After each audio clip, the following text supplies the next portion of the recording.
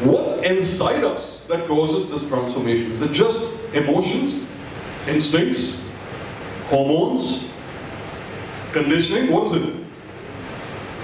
You can understand that when you understand ego states. And for non-psychology students, I usually put this slide in. I say it has nothing to do with being egoistic. It's not connected. That's like trying to connect casualty and casual approach, or credibility and credit card. They're not connected.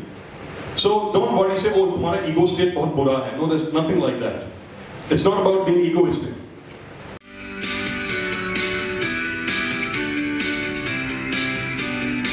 There's so much more about TA that I'd like to share with you. There are several more videos on this YouTube channel.